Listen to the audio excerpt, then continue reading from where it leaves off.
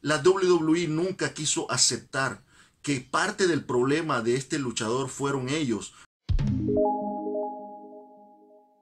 Hey, luchamanacos, bienvenidos a otro video. Como verán en el título, vamos a hablar sobre un tema que tenía muchas ganas de conversarlo con ustedes. Hace unos días, eh, David Benoit, el hijo mayor de Chris Benoit, dio una entrevista, eh, participó en un podcast, estuvo en una conversación ah, referente a muchos temas, a muchos tópicos súper interesantes y quería hablar con ustedes, quería compartirles lo más importante de dicho podcast y escuchar sus opiniones, darle la mía personal.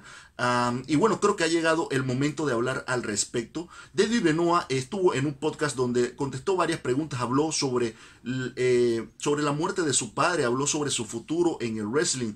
Y vamos a empezar por la parte de lo que fue ese trágico día en la vida de Chris Benoit y en la vida de David Benoit. Eh, David menciona que eh, él fue un momento muy difícil para él.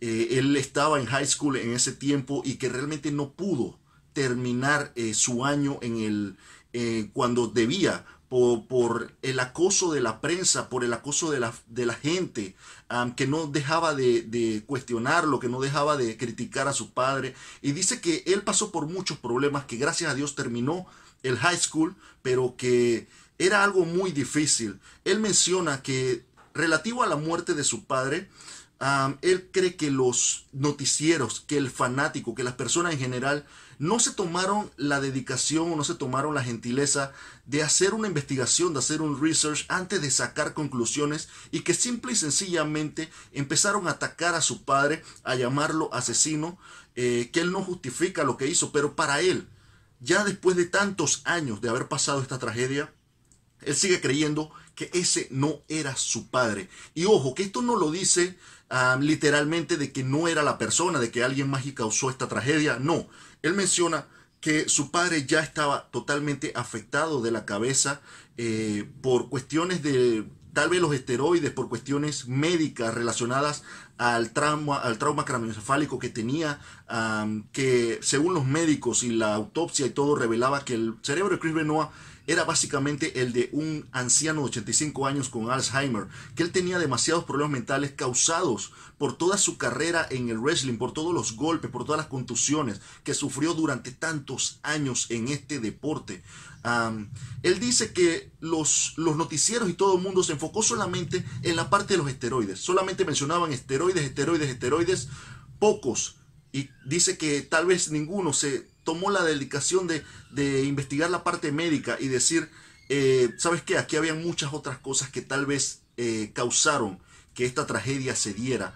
Hay que recordar que David Benoit era hijo o es hijo del primer matrimonio de Chris Benoit, lo que significa que en el momento de la tragedia él no estaba en la casa de, los Benoit. Él estaba obviamente con su mamá. Él tiene una hermana, si no me equivoco, llamada, llamada Megan. Esa es otra hija de Chris Benoit. Y yo en esta parte debo ponerme de acuerdo con David. Yo creo que hasta la WWE se limpió las manos, hizo, pasó la página, dijo, ¿sabes qué? Yo no tengo nada que ver con esto, voy a borrar el nombre de Chris Benoit de la historia, no quiero saber nada de esto y vamos a seguir con nuestras vidas. Y yo entiendo, y yo entiendo lo que la WWE trató de hacer de repente yo entiendo que tú siendo una marca internacional, siendo una empresa multinacional, no quieras tener nada eh, que ver o no quieras ser relacionado con una tragedia como esto, como un crimen como esto. Pero yo creo que tenías la responsabilidad de por lo menos investigar. Eh, creo que le debían eso como luchador y como, como miembro del roster de su empresa a Chris Benoit, de por lo menos investigar y decir, ¿sabes qué? Vamos a hacer un comunicado y decir, Chris Benoit eh, falleció a causa de, esto. estas tal vez fueron las razones. Él sufría de esta enfermedad, tenía esto. Eh, ellos no mencionaron nada de esto. Solo, y simplemente dijeron, vámonos de aquí, no sé nada al respecto. Y los fanáticos siguieron la tendencia de WWE y dijeron, no, él es un asesino y más nada, no quiero saber más nada de él. de verdad que muy triste la situación, muy triste esta situación.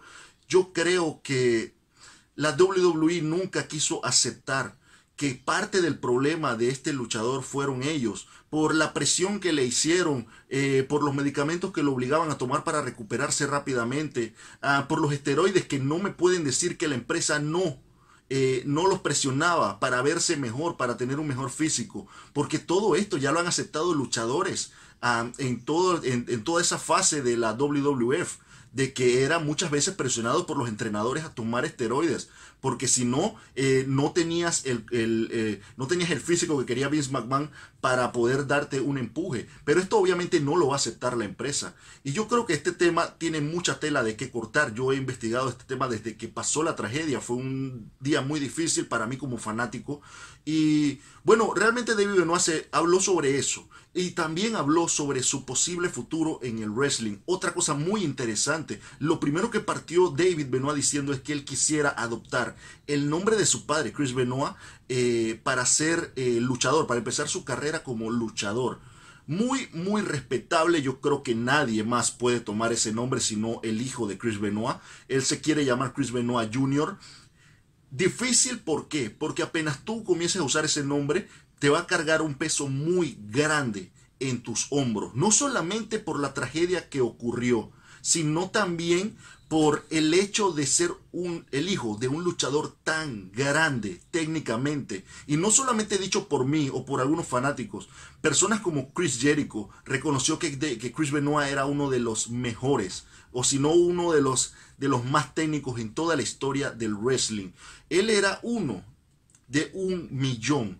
Creo que eh, pocos nacen para ser luchadores como lo fue Chris Benoit. Y hay que ver, hay que analizar la carrera de Chris Benoit, cómo empezó. Él se forjó en Canadá. Él arrancó su carrera a los 18 años. Estamos hablando de que David Benoit ya tiene 27. Entonces ya lleva como 9 años de atraso. Eh, Chris Benoit se preparó en la Academia de los Hart, una de las, del, uno de los lugares más difíciles para prepararte para este deporte, pero que te prepara como los grandes. Luego de eso, él estuvo en Japón, estuvo en México, estuvo por todo el mundo, eh, luchó con tipos de la, de la talla de Yoshiton, de Liger, de Gedo, del Great Sasuke, luchó con todos ellos.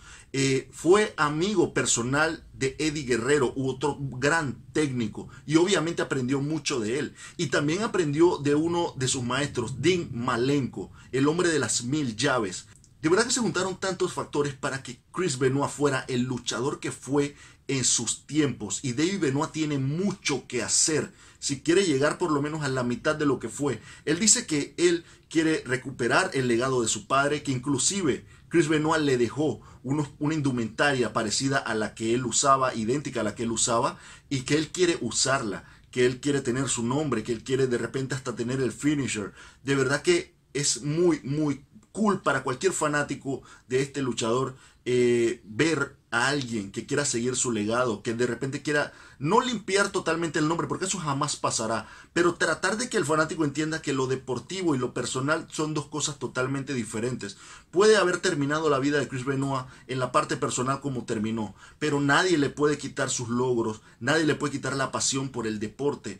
Durante tantos años, Chris Benoit llegó a ser campeón junior heavyweight de New Japan Pro Wrestling tuvo varios campeonatos en lo que fue el mundo independiente, logró ser Grand Slam Champion en WWF eh, en, en WWE. Yo respeto, como les digo, mucho la decisión de David.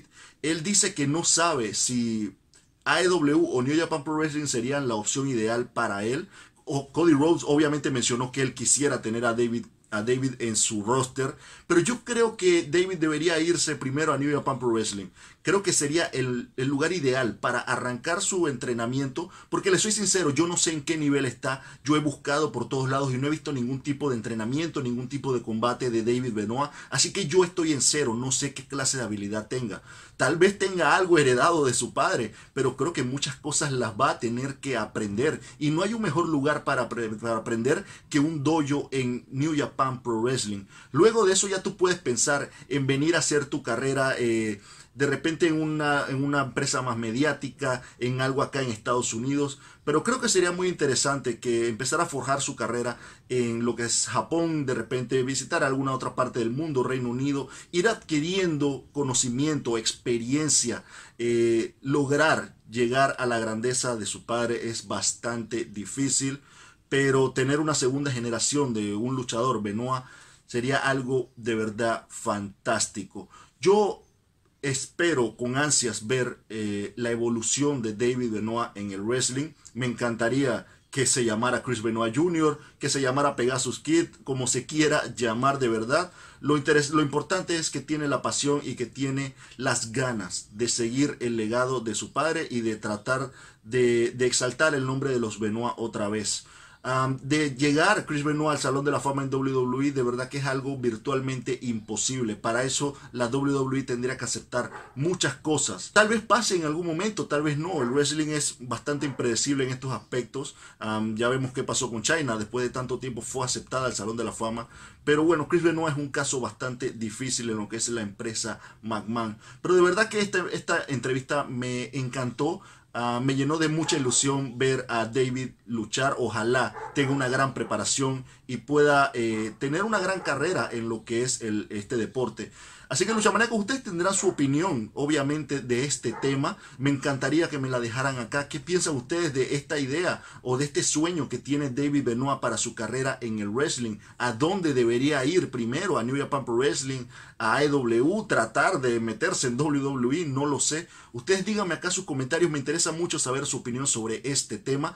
Eh, como siempre, déjenmelo aquí en los comentarios. Nos estamos viendo entonces en un próximo video. Recuerden que en wrestling ninguna verdad es absoluta. Les mando un saludo y un abrazo a todos.